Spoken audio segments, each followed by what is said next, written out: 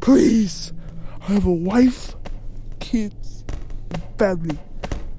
Please don't get me. Please. I am sorry, mortal. When did I ever give you a choice? It's popcorn. A small corn. It has taste. It has the taste. Get back to the formula.